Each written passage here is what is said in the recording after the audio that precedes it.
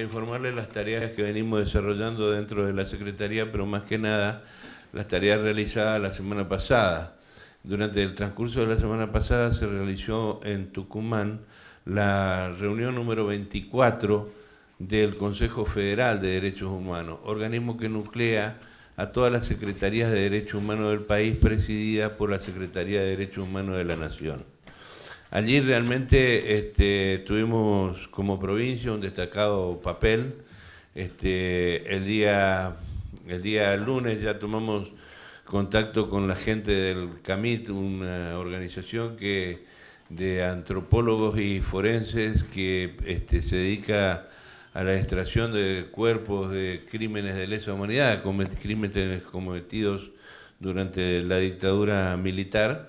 Estuvimos con ellos en el Pozo de Vargas posteriormente y junto con las autoridades nacionales el día miércoles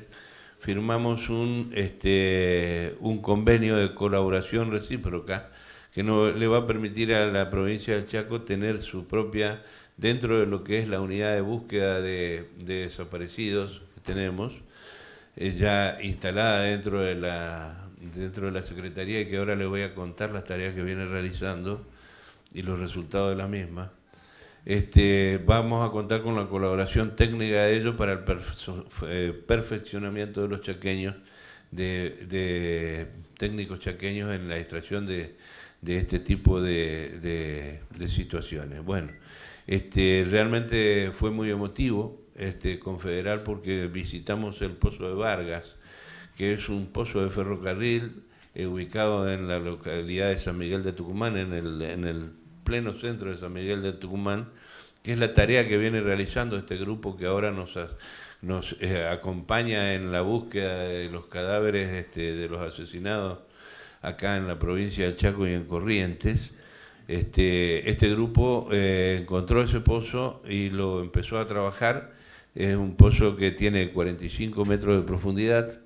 Este, todavía faltan extraer 7 eh, metros de sedimentos y era un cadáver arriba del otro, así sencillamente.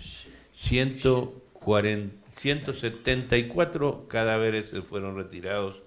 de ese lugar, 174 militantes sociales, políticos, culturales de la provincia de Tucumán, entre ellos este, ya se están identificando personas este, muy conocidas, cantantes, este, eh, bueno, la verdad que una verdadera tragedia Estuvimos allí y este, bajamos al pozo, este, vimos cómo se investiga, cómo, cómo, y nos llevamos en el alma el recuerdo